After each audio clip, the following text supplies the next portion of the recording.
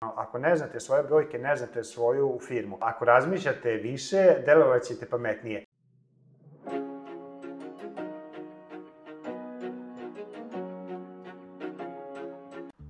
Zdravo, dobrodošli na današnji videoklip. Skoro sam pročitao, to je bukvalno jutro sam pročitao knjigu Medvedi na putu i pisac je naš čovjek Bojan Lejković koji je napisao, koji je osnivač firme Kupujem prodajem. Ova knjiga je došla slučajno kod mene tako što je moja supruga dosta stvari prodala i kupila preko Kupujem prodajem i dobila je mail obaveštenje da je izašla ova knjiga i kupila je tu knjigu i a, ja uopšte nisam bio svestan te knjige i kad je došla, prvo što mi je privuklo jeste ova šarene boje, kupujem, prodajem, jer ja za sad kupujem, prodajem sam čuo, ali ga nisam nešto koristio, par puta sam nešto kupio preko njega i nisam znao da je to toliko ozbiljna priča, tek sam saznao kada sam pročitao ovu knjigu i ono što je još važnije, a, kada sam, kad je donao tu knjigu, ja sam jednostavno počeo kao što sam predložio, znači knjigu nemojte čitati samo radi čitanja, nego samo čitajte knjigu ako zaista uvuče. Mene posle prvo, prve, prve lekcije ili prvo, prve priče toliko uvukla da sam imao želju da je pročitam odmah i zaista sam je pročitao za par dana, a knjiga ima, ne znam, nekih, koliko ima, 270 stranica. I danas želim s vama da podelim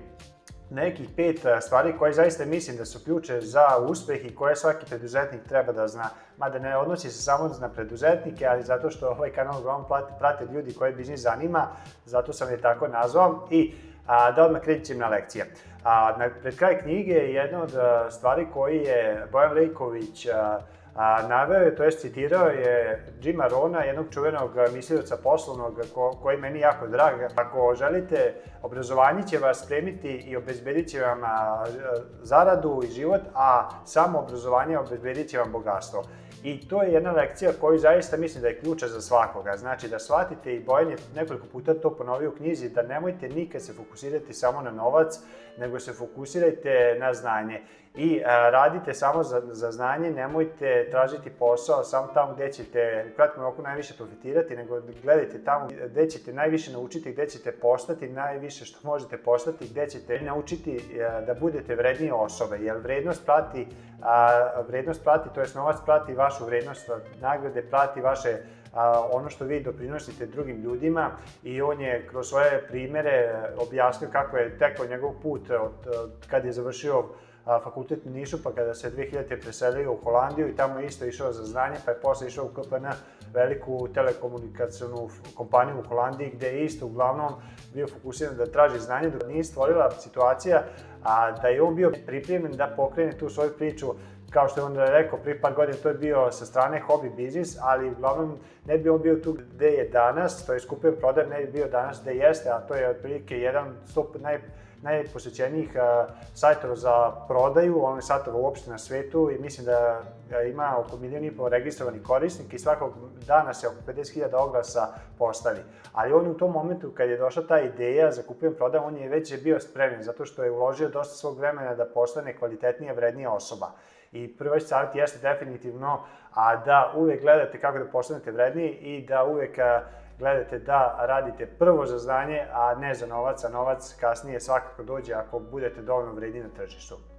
Druga stvar koju, a, koja mi se jako svidela jeste što u jednom od tih priča a, spomenuo kako je na početku odmah kad su počeli da se dešavaju neke stvari finansijske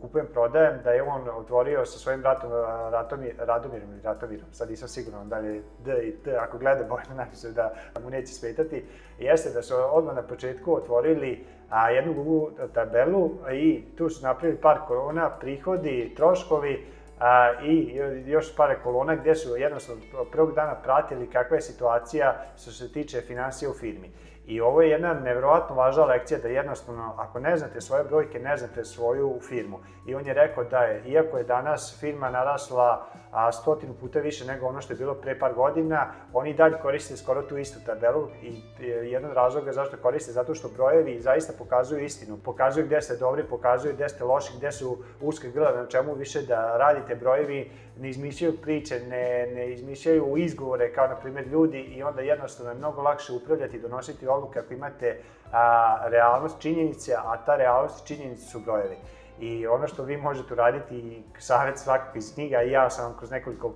klipova na mom kanalu rekao da zaista morate znati svoje brojeve,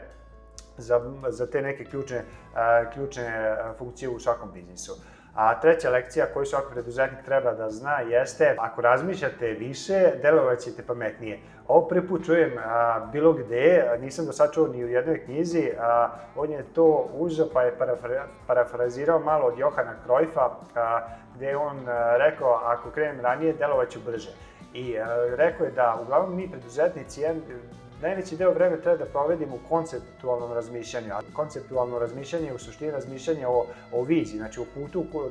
i krajnjoj destinaciji na, u kojem želite da dođete sa vašom firmom, strategiji kojim putem i kako želite to da ostvarite, o planovima i tako dalje. I a dosta ljudi danas generalno ne razmišlja. Čak je spomenuo da je bio na nekom predavanju a, gde je spomenuto da otprilike samo 5% vremena tog dana mi ljudi koristimo za razmišljanje, 95% su čiste navike i, i radimo ono što radi okruženje. Znači, jako malo generalno ljudi razmišlja i ja sam u, do sada u diskusiji u svom životu da je stvarno tako I ono što treba je da biste malo se izigli od konkurencija, možda malo i više, jeste jednostavno da odvojite to vreme za razmišljanje o tim bitnim stvarima jer to zaista su najbitnije stvari koje svaki preduzetnik može da radi, a to je da zaista kreira tu viziju gde ćete biti za 5-10 godina, a strategiju sa kojim ljudima hoćete da radite, kakvu kulturu želite da izgradite, koji krajnji rezultat koji vaši korisnici očekuju od vas i kako to da im date. To su neke stvari koje niko sem vas ne može odraditi, ne možete to nikom delegirati,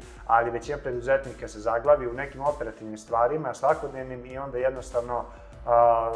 zbog tog nekog vrzinog kola trče stalno u krug i ne mogu da se zvuku i da zaista stanu i da razmišljaju o, o važnim stvarima.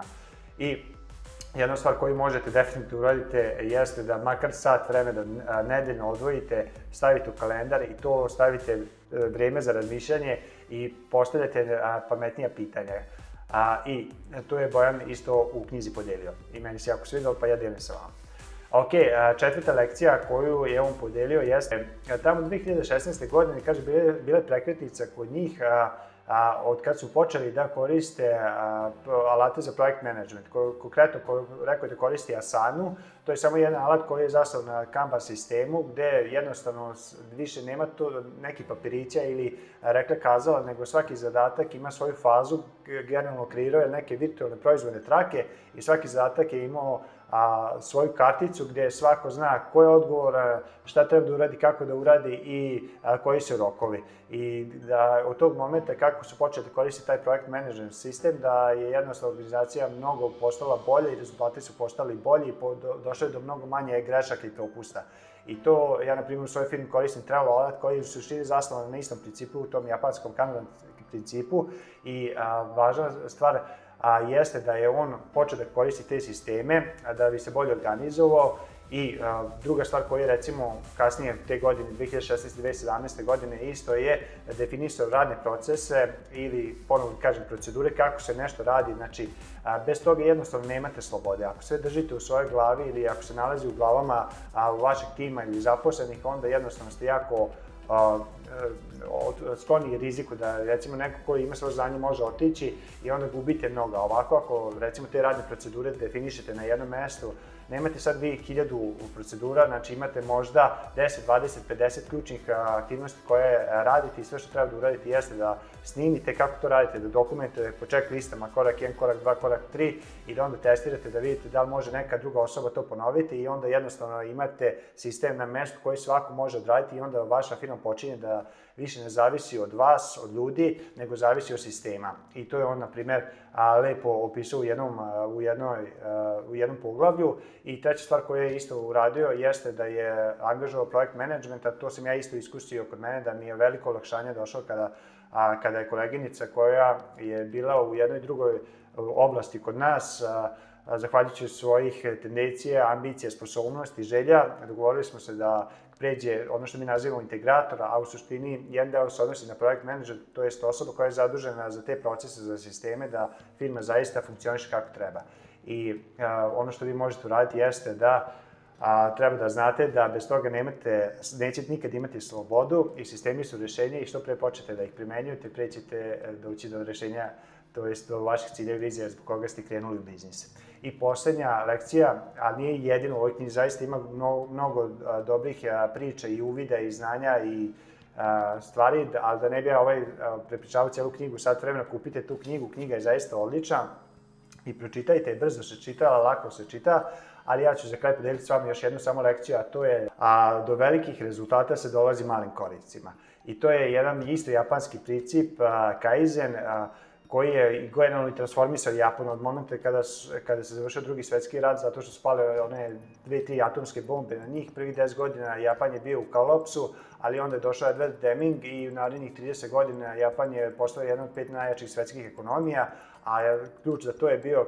recimo, jedan od ključeva za uspeh je bio, recimo, taj Kaizen. A u suštini to znači da zaista veliki, nikad ne dođu ti veliki rezultati odjednom, nego a, ljudi vide te velike rezultate. A ono što ne vide jeste ta gomila malih postignuća, malih koraka koji svako uradi pre nego što dođe do velikih rezultata. Ima još jedna izreka koja ja često koristim, jeste da a, male šarke otvaraju velika vrata i te male, male šarke u ovoj priči kod Bojana Lejkovića jesu da podelio mnogo primjera kako je uvek tražio on i ljudi i kako su tražili uvek feedback od svojih korisnika za ta mala poboljšanja i jednostavno verujem kad bi mogli da a, sumiraju uspeh kupujem, prodajem i i njegov, i cijele te priče, mislim,